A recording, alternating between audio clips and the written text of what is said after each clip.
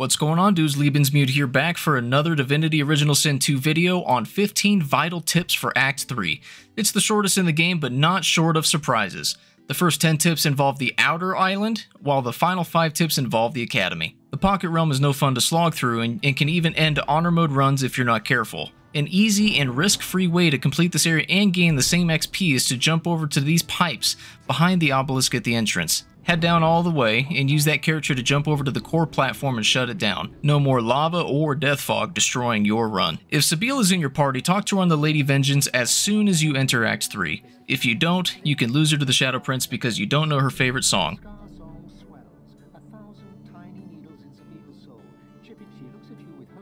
Karaoke night just got a lot more interesting. Be gone, Mr. Studio Girl. If you have Red Prince and Sebille in your party, park Sebille down to, by the stairs to the altar of Zorlstissa and talk to the Shadow Prince with the Red Prince first. This will allow you to continue his quest. Afterwards, you can bring Sebille along to initiate combat and progress her story, but be careful for the ambush and get to high ground. If you're looking to complete the Devourer set, don't forget to enter the cave beneath the altar of Zorlstissa and place a flame rune in the mouth of the dragon to obtain the Devourer's Eminence leggings. The Black Ring encampment nearby can be friendly if you assisted Almira or sided with the Lone Wolves in Act 2. They have plenty of wares, and Wordless can read your mind too. Just don't approach the lizards on the other side unless you have adequate persuasion, as they can blow your cover and start a fight with the whole camp. Duna's tomb is just northeast of this encampment and has some odd mechanics with many traps and omniscient clay figures. At the end is the Knight of Duna.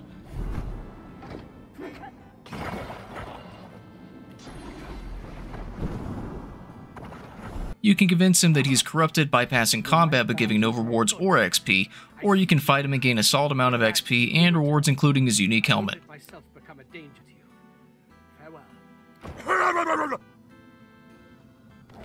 Stand clear away from the clay figures or destroy them beforehand, as they attack every few seconds even when in combat without restrictions.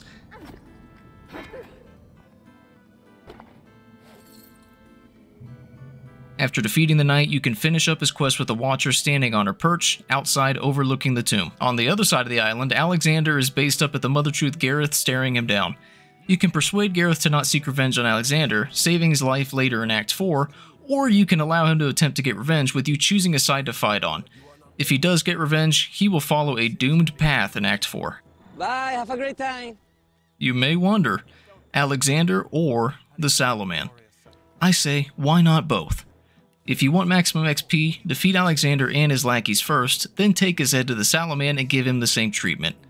To be fair, they both oppose your goals. Now we're getting into the upgrades. Eternal artifacts are found all around the island and can be combined with armor to give specific bonuses shown here on the Fextralife wiki. You can also combine them with your weapon to give 25% additional damage as air damage and give a chance to shock.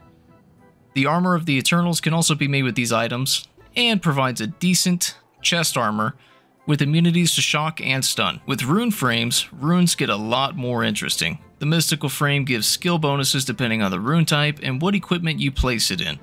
The power frames give increasing bonuses to attribute points based on the type and size of the rune.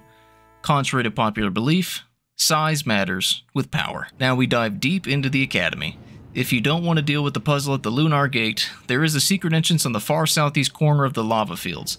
Be sure you complete everything out on the island before entering, as the quest lines complete after stepping foot inside of the academy. Before you enter, your companions will separate from your party. Those with high attitudes or with their quest lines completed will immediately side with you, but those with low attitudes towards you will require persuasion or simply refuse to accompany you any longer.